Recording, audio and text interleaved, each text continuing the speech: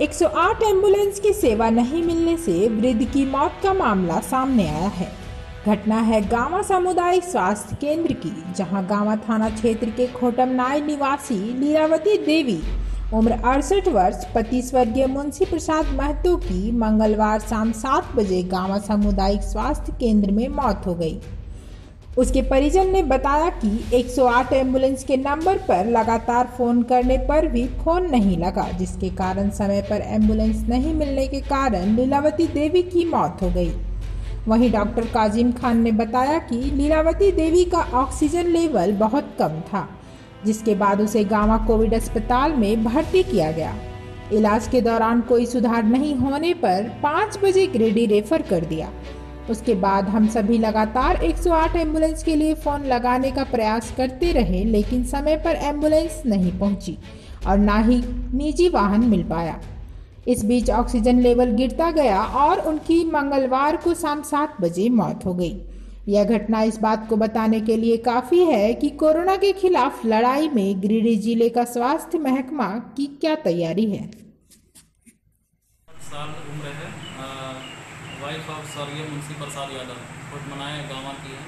इनकी मृत्यु कल शाम सात बजे कोविड सेंटर गाँव में हो गई कोविड टेस्ट जो करवाया गया तो इनका नेगेटिव था, लेकिन इनका जो ऑक्सीजन लेवल है, वो यहाँ पे जब एडमिट किए थे तो सेवेंटी थ्री था।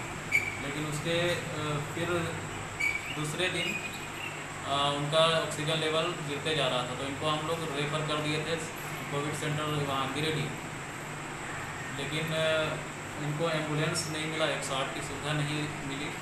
इनके उसके बाद फिर इनका डेथ हो गया सात बजे शाम। सोशल मीडिया के माध्यम से और लोगों के माध्यम से पता चल रहा था कि ऑक्सीजन के अभाव में और एंबुलेंस के अभाव में एक महिला की मौत हो गई आज सुबह जो कि यहाँ आने पर पता चला कि कल शाम में हुआ है। तो यहाँ आने पर हम लोगों ने कांग्रेस का एक टीम गठन किया इस प्रखंड अंतर्गत और हम लोगों ने कोविड हॉस्पिटल जो यहाँ 10 बेड का चल रहा है, उसका निरीक्षण किया, जिसमें पाया कि जो भी स्टाफ है, वो सारे स्टाफ यहाँ पे मौजूद है और सारे लोग कार्यरत हैं, सारे लोग काम कर रहे हैं। यहाँ अभी दो पेशेंट जो है ऑक्सीजन की कमी के वजह से एडमिट है, जिनका कोरोना टेस्ट अभी हुआ है, लेकिन रिपोर्ट नहीं आया है।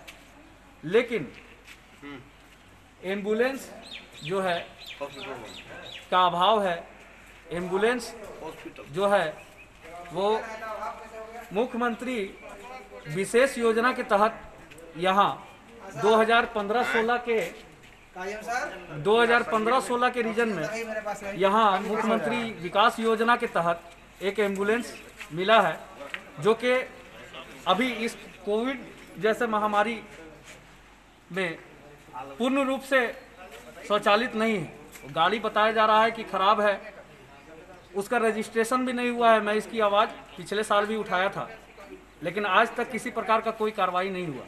तो मैं जिला प्रशासन और साथ साथ असैनिक शल चिकित्सा पदाधिकारी से मांग करना चाहूँगा कि आप मामले को संज्ञान लें और एंबुलेंस की व्यवस्था करवाएँ और साथ साथ यहाँ पर जो दो आयुष चिकित्सक अभी कार्यरत हैं, रोस्टर वाइज काम कर रहे हैं, इनके जगह पर एक आख जैसे अभी बगल के प्रखंड में मैं गया हुआ था, वहाँ मैंने पता किया वहाँ देखा कि चार चार एम डॉक्टर एम डॉक्टर जो है, वो कार्यरत है।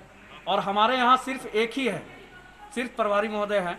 उनके जगह पर मैं ये कहना चाहूँगा और मांग करना चाहूँगा आप सभी प्रेस बंधुओं के माध्यम से कि यहाँ पर एक एंबुलेंस की व्यवस्था करवाएँ जो सुचारू रूप से चले और यहाँ पर एम बी डॉक्टर की पदोन्नति करवाएँ।